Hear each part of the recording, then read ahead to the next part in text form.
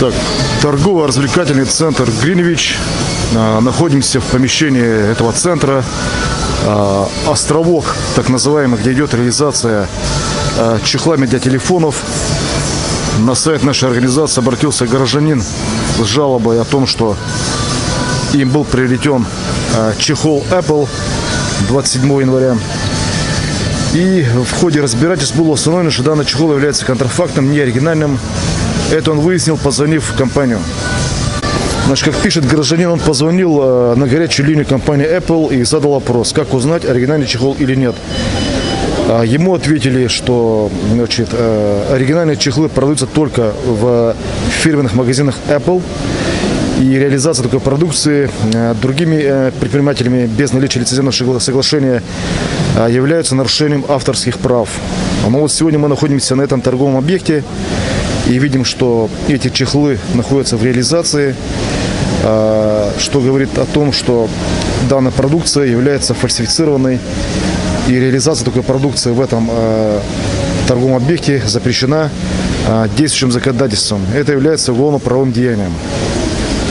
То есть сегодня видим, что есть продукция для iPhone 6, iPad Pro,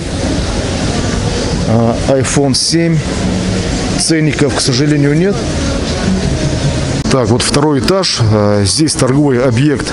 Э, Уже э, другая коммерческая организация, другой предприниматель, скорее всего, наверное.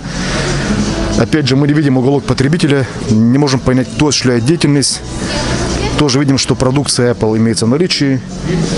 Чехлы, аксессуары, ремешки, силикон кейс, iPhone 11. Вот есть чехлы от модели iPhone 13 Pro, leather case и силикон кейс. То есть э, товар в наличии, выставлен на витрине. Так, на этой торговой точке деятельность осуществляет предприниматель Бобров. Так, вот еще одна торговая точка, тоже здесь выполнена в виде островка.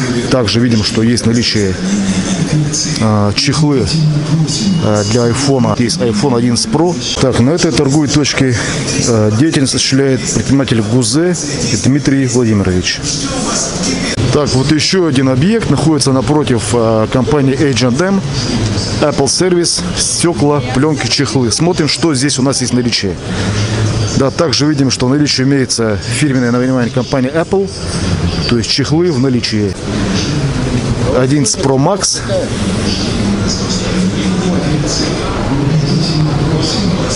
iPhone 11.